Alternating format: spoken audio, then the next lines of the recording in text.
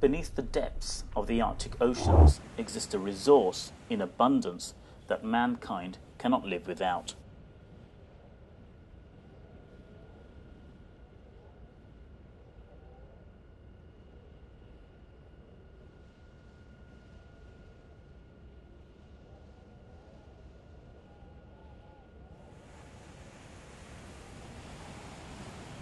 We're not talking about oil or gas but something even more fundamental to our existence fresh water, compacted into ice. But transporting icebergs to drought prone regions has been dreamed about for decades and never achieved. But advances in technology could now make this vision a reality.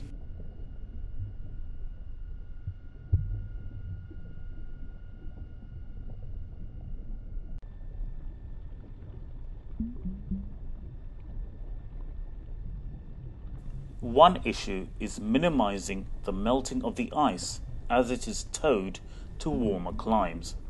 Advances in materials science could now make it affordable.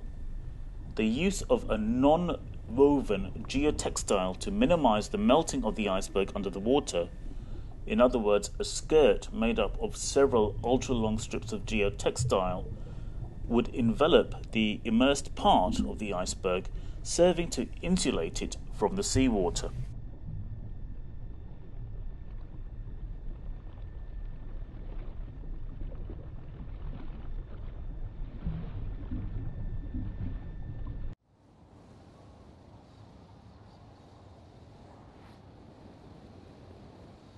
But another way to reduce costs is to use a giant sky sail, or a kite, in other words to use wind power to assist convoy progress while reducing fuel consumption.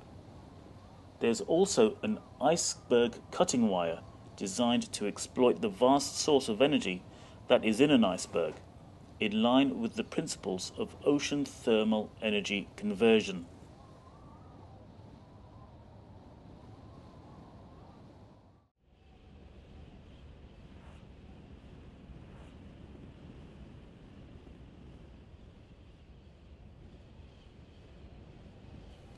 Also, advances in 3D computer simulation by Dassault Systèmes will allow the project to accurately model and simulate various scenarios.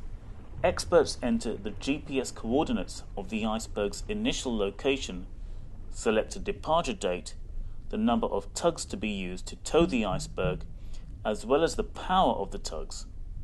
Finally, they select the general piloting strategy. Within minutes, the simulation ends and delivers the results.